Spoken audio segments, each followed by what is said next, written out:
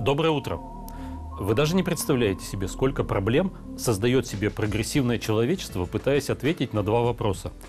Любит он меня или нет? И люблю я его или нет? Сколько гадальных карт было протерто до дыр? Сколько было уничтожено ромашек? Ни один Гринпис не подсчитает. Любит, не любит, плюнет, поцелует. К черту пошлет, к сердцу прижмет. Что там вопрос быть или не быть? Любит или не любит? Вот в чем вопрос. Дать вам хороший совет.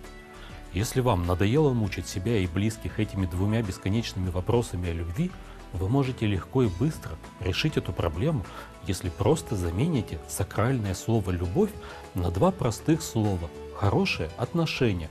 Потому что, простите меня, но в первую очередь любовь – это хорошее отношение. И сразу же все встает на свои места. Он ко мне хорошо относится? Да, значит любит. Он ко мне очень хорошо относится? Да, значит очень любит. Я к нему хорошо отношусь? Нет, значит не люблю. Поэтому не спрашивайте себя, любит ли он меня. Спрашивайте, хорошо ли он ко мне относится. Потому что хорошие отношения – это главное в любви.